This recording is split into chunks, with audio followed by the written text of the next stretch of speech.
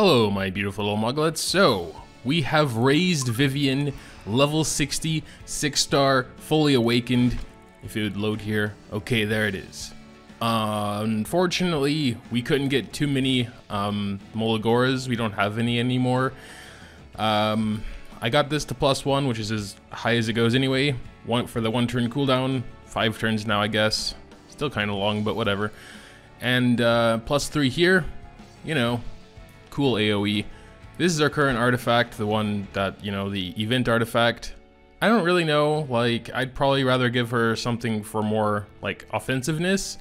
Uh, here are her stats currently, uh, 214 speed, unless I'm going with Judith or Oxalots, she will be the fastest, meaning she can give the buff and immunity and everything straight off the bat. So in like an arena setting, she I wouldn't need Oxalots or Judith because there are other dudes that are probably going to be faster most of the time. But just having a hero that can give three turns of immunity and increased attack to the whole team is already really cool.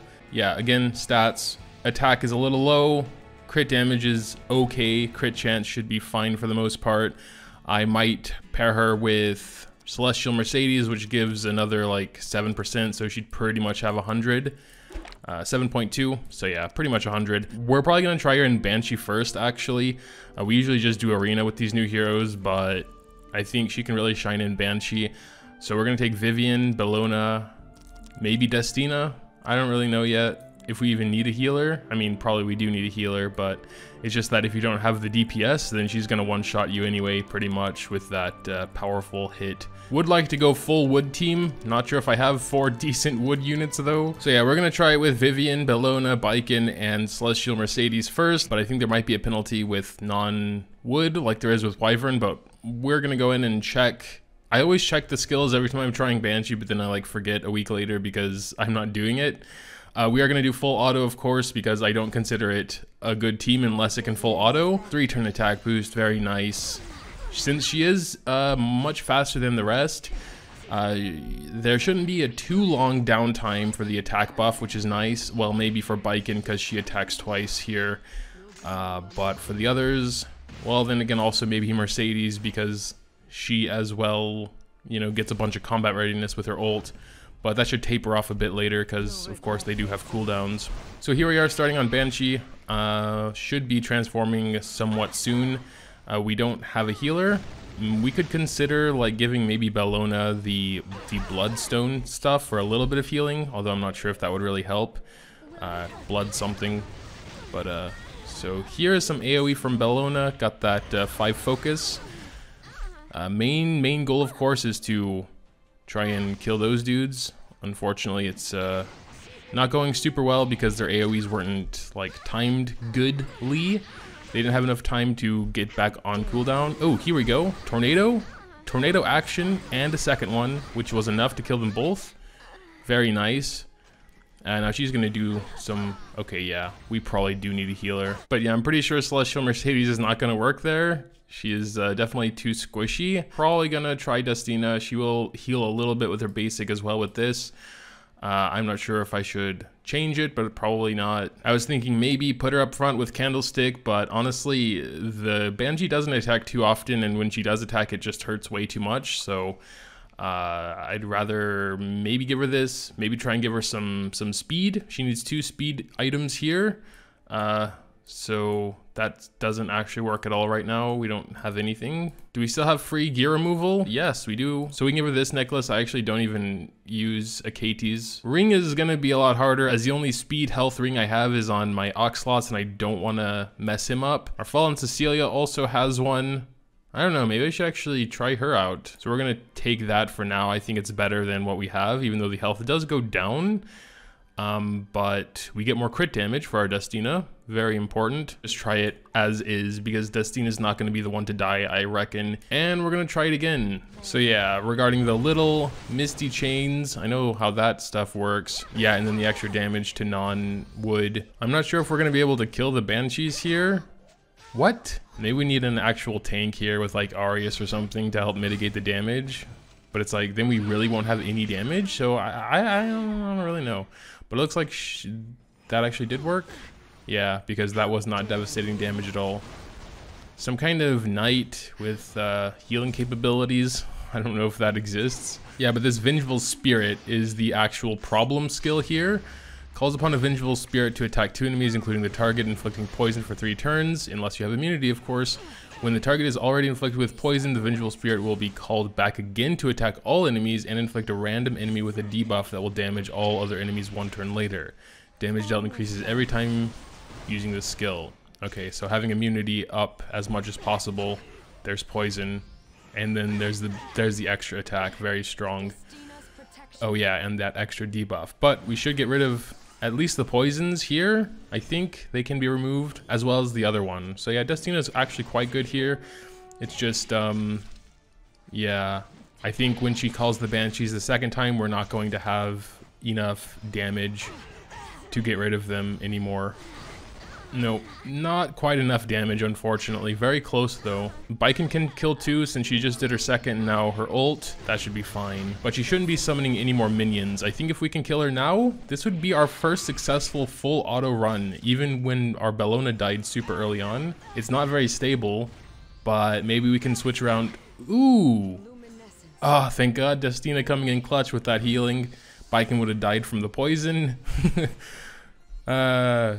Yeah, definitely not stable. If we can, if we can do this, then not only is it going to be incredibly close, but there were a lot of factors that have already been in play here that we could have died several times over from. So I think we can do it, but way too close for comfort, so something needs to be changed. Check out these boots. 70 counter attack boots. Okay. I mean, it could just be bad luck that Bellona died super early. We're going to do one more run here. I'm gonna cut out most of it because you know just commentating throughout the entire battle takes a while. So let's just see what happens. Ah, damn! There goes Bellona's ult right before she splits. And also, she shouldn't do that AoE. I thought it was a health-based thing, like sort of like says when he get, gets you below 50% HP, then he attacks again, but that's not the case. Poison regardless of stacks. So immunity, super important here. We might try Fallen Cecilia instead of Baiken see how that plays out, see if it's any more safe. Here we go, getting the immunity after the initial poisons from the Banshee, so we shouldn't get any, any more... Oh well, she can still do the whole uh, second attack thing since we already have poison now. But uh, we'll see. Yeah, probably another attack now because we already have poison. Yes, in fact, that did very bad damage. Maybe Destina coming with the clutch heal? Yes? Okay, that one was not only faster, but also felt definitely safer.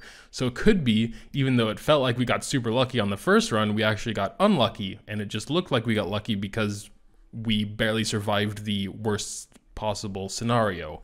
Now we're going to try Fallen Cecilia instead of Baiken, um, just because. All right, well, for now, we're going to take it off of Aux Lots, but then give it back right after we check out what's going on.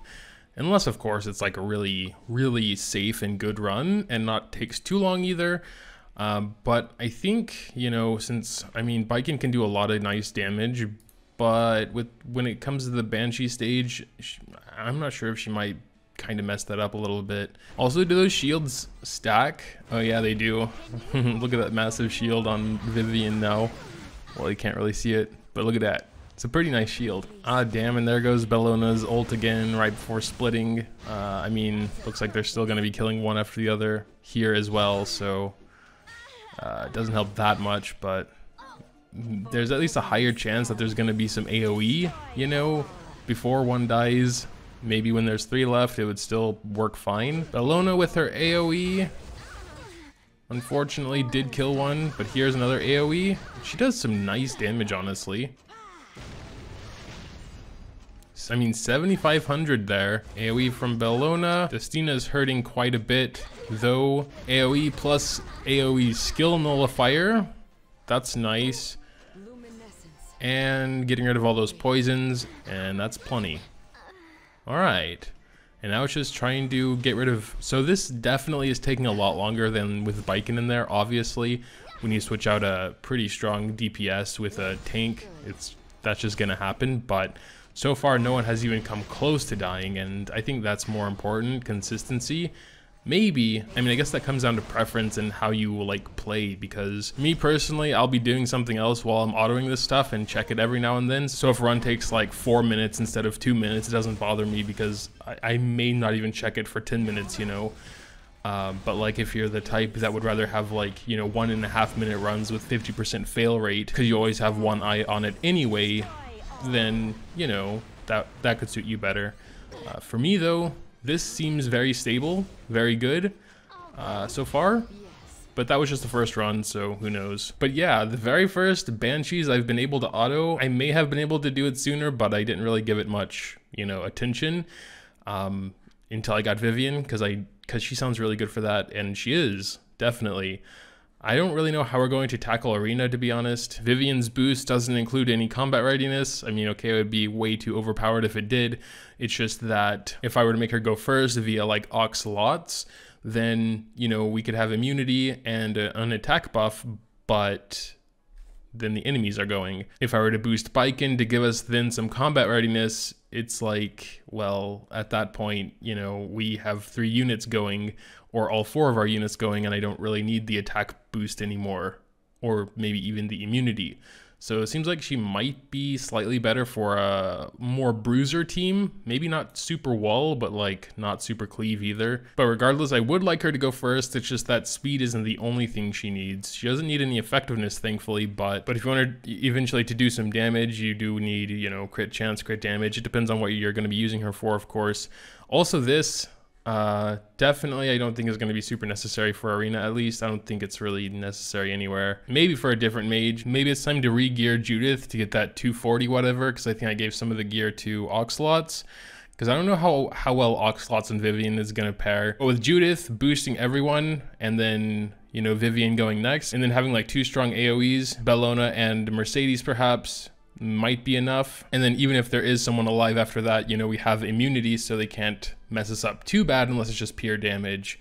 Uh, like Dizzy, for example, you won't re really have to care about with immunity, you know. Oh yeah, I took my 12 speed sword from Aux Lots to begin with and gave it to Vivian. But we need to give her something else. Uh, unfortunately, we're super low on crit chance, even though I'm not sure if crit chance is really going to be that important, honestly, since we're doing third skill first. Going to get the Tagehel book on her as well. And for Celestial Mercedes, we're going Portrait of the Saviors. This team, for example, sure, why not? It doesn't look fast. I have no idea how this is going to turn out but let's give it a try. I just hope Judith alone is enough to boost them all up to the front because otherwise that's not going to work out very well.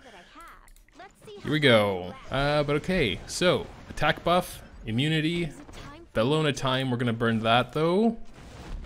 Get some more damage in there. Missed everyone. And here we go. Portrait of the Saviors actually won't proc on the bear dude because he's under 50, I believe. But for everyone else, it should. And uh, yeah, that's pretty good. What are you gonna do, Dizzy? What are you gonna do?